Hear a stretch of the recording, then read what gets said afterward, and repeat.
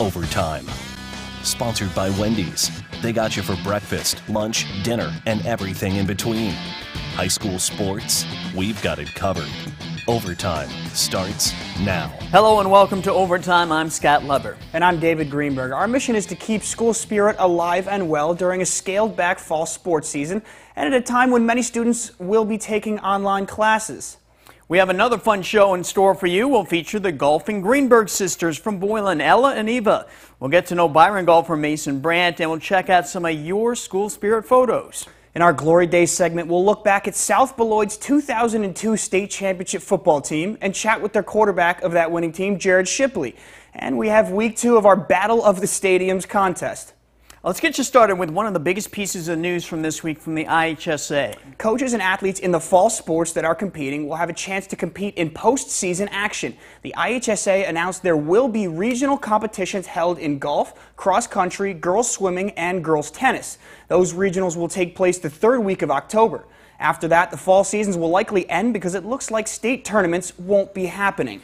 Boylan boys golf coach John Canova says it makes sense to hold regional tournaments obviously one of these sports where the guys can be socially distanced. They're only playing with their own equipment. They're not touching anybody else's. So I'm very glad that they're doing it um, for the kids. I mean, it's you know to to not give them that opportunity it wouldn't be fair for them. Yeah, it's too bad there won't be any state tournaments though. Yeah, that's a tough blow. Many local athletes could have challenged for all state uh, for all state honors. The golf season is going strong though. There was a big event last Saturday at Prairie View Golf Course in Byron, the Tiger Invitational. There were five teams from the area that competed in that event. The Byron Tigers were led by standout freshman Mason Brandt. Here he is on the green, showing off his putting skills. Despite a good lag here, he had three tough three putts that hurt his day a little bit. However, he still uh, managed to finish with an impressive 82. Brandt was paired up with Stillman Valley's number one senior Tim Markham. He'd make his way to the green and he'd tap this one in right here for par at the second. Markham finished the day with an 86. His partner was Stillman sophomore Griffin Smith. Smith struggled a bit through the front nine, but was absolutely lights out on the back. Take a look at this chip here. Very tough up and down, but he makes it look easy, placing this one a foot and a half from the hole. He'd finish that one out for par.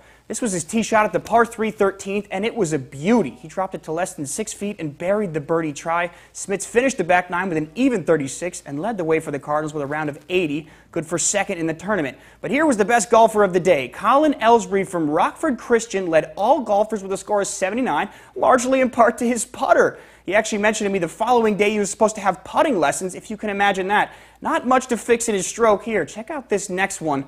Gets that one close to the pin. But check out this next one.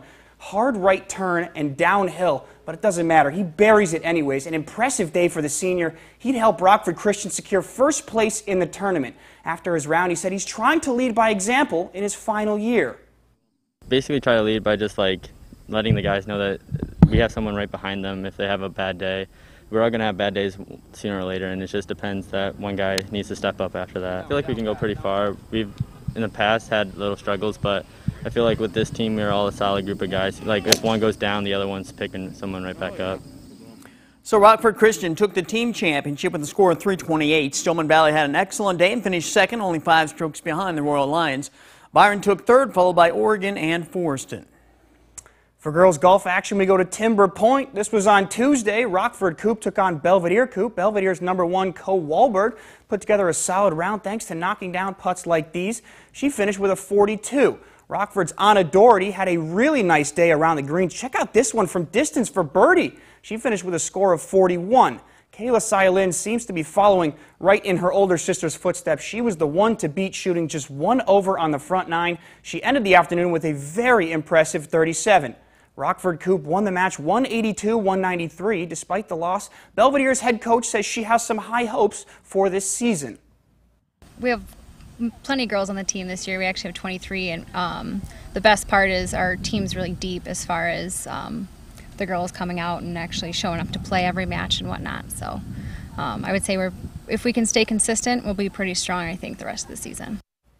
NIC-10 girls tennis teams held their first competitions this week. This is from Monday when Guilford hosted DeKalb at the Guilford Tennis Center. Now, spectators, they had their protective mask on and they did a good job keeping their distance.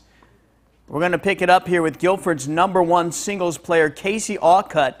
She won her match over Kariah Foster 6 love, 6 love. Alcutt is a two time state qualifier. Next up, it's the number one doubles team for the Vikings of Maggie Thomas and Sarah Dennis. They won their match 6 2 6 4.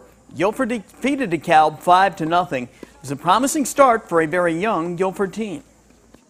We have just two returning varsity players. Um, however, we won fresh off conference last year. We have a lot of underclassmen that are, are coming in very talented, so we should have a, a pretty good season.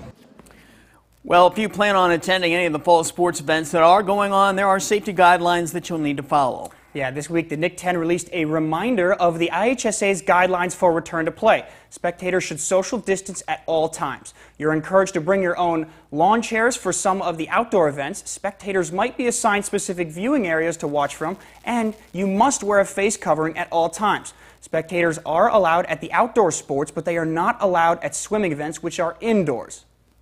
And that brings us to our question of the week. Do you believe spectators should be allowed to attend high school sporting events this fall?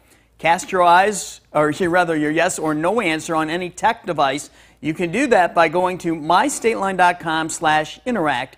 That's mystateline.com slash interact. We'll update you later in the show on how you're answering. Coming up next, we'll check out some of your school spirit photos, plus their two sisters who can't be kept away from the golf course. They're the Greenbergs from Boylan. And later, we relive South Beloit's 2002 state championship football season with a quarterback from that team, Jared Shipley.